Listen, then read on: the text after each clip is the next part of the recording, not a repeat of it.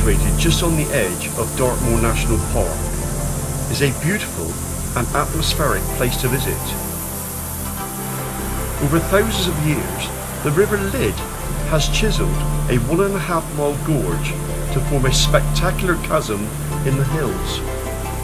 At one end lies the impressive Devil's Cauldron Whirlpool, while the 100 foot high White Lady Waterfall is at the other. Starting along the upper path, the circular walk is about 3 miles long. This part of the walk is fairly easy, with spectacular views down to the gorge below. Eventually, the path leads down to the bottom of the gorge where the River Lyd crashes and flows in dramatic fashion. But be warned, because as you will see later, this part of the walk can be quite hazardous. The terrain can be treacherous in places, with several steep inclines and narrow, sometimes slippery paths. For an easier walk and superb views down to the gorge, keep to this winding upper path. The start of the walk is signposted from the National Trust entrance at the shop at Lydford Gorge. There's also a free map of the route which helps you to make your way around the gorge by following the numbered posts. The first section of the walk takes you through Lambhole Wood, a mix of lime, elm, hawthorn, cherry, laurel and horse chestnut trees.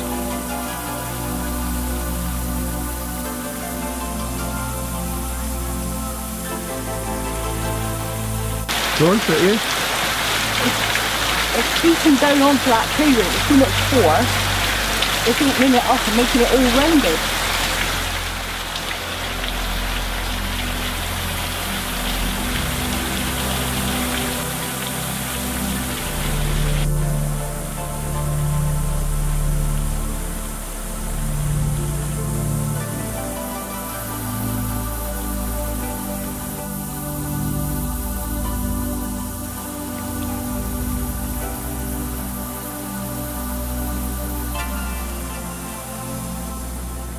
Lydford Gorge is the deepest gorge in southwest England and is a designated site of special scientific interest.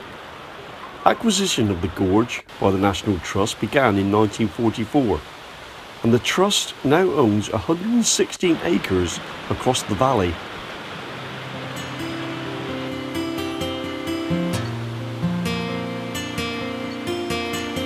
To take everything in, it's best to do the entire walk it's about three miles and should take approximately two hours.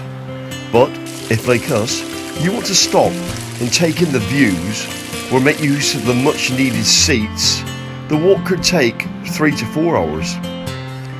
Passing through the dense water vale and Lambhole Wood, you enter the gorge down a steep slope.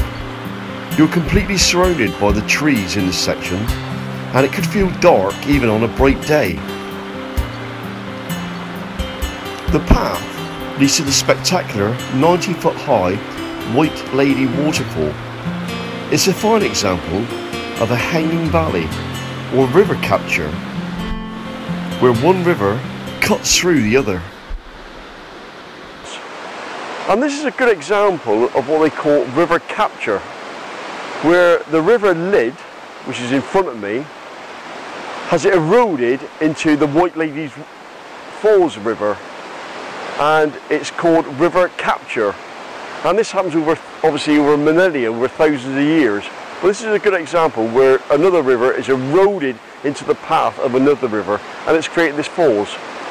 Why is it called White Ladies Falls?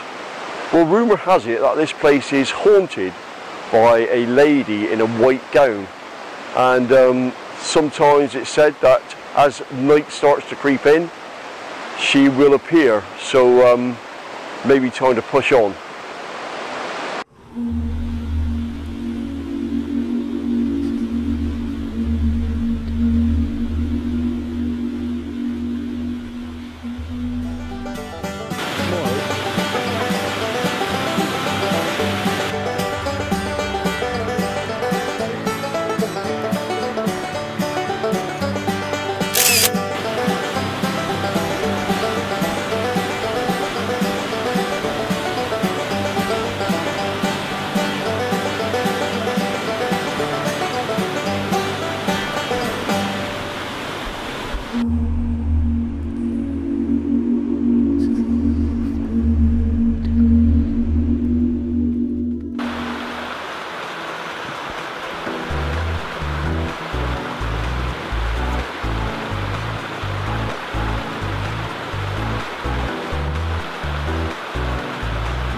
Down must at some point come back up again.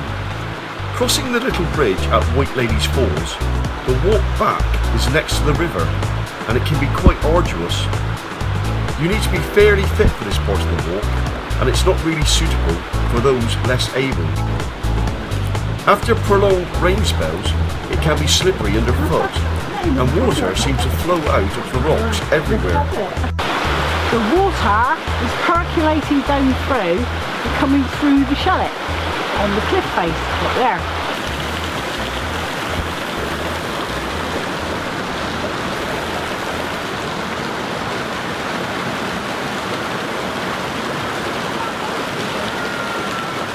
The walk here is next to the river and takes you over slippery granite, so you have to hold on to the rail which is provided. Depending on the river height, the water can be quite close to your feet. The secret here is to take things carefully.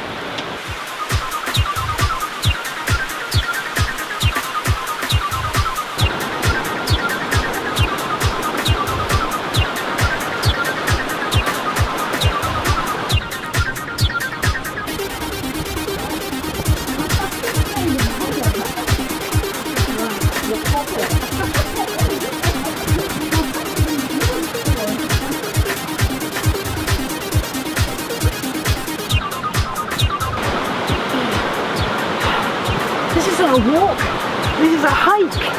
Woo.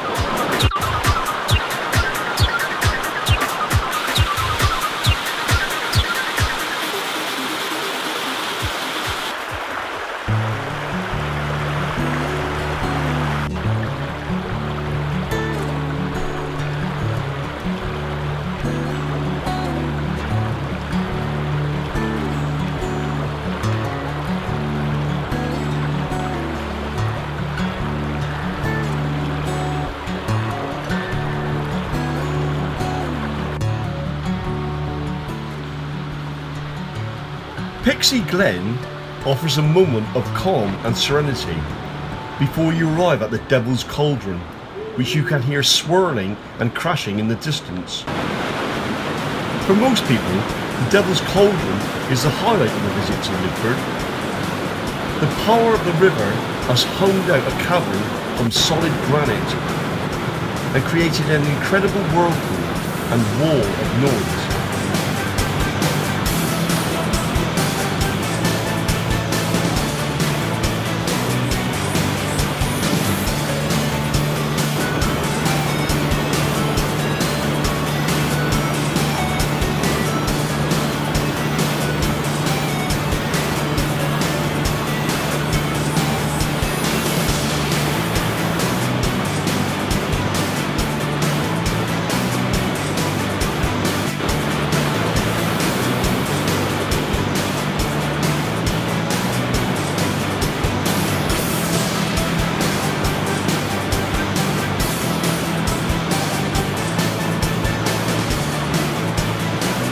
A visit to Lydford is spectacular and dramatic as well as peaceful and beautiful. Just keep an eye out for the ghostly figure of the White Lady.